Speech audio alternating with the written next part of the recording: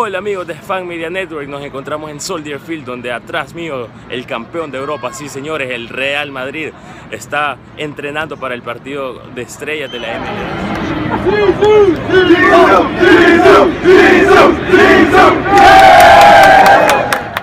Esta fue la cálida bienvenida que le dieron cientos de aficionados al Real Madrid cuando el equipo saltó a la cancha del Soldier Field en una práctica que duró aproximadamente una hora y 15 minutos. Entrenamiento con mucho balón, muchos rondos y partidillos en zonas disminuidas de la cancha. El galés Gareth Bale se retiró sosteniendo su talón derecho y es duda para el partido de mañana. Para Fan Media Network Chicago, Alfredo Rodríguez.